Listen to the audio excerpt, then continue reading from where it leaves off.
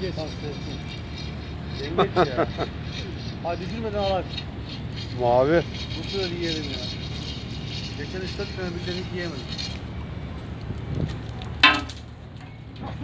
Yanlış yere düştüm. Yanlış Büyümüyor şimdi küçük ya.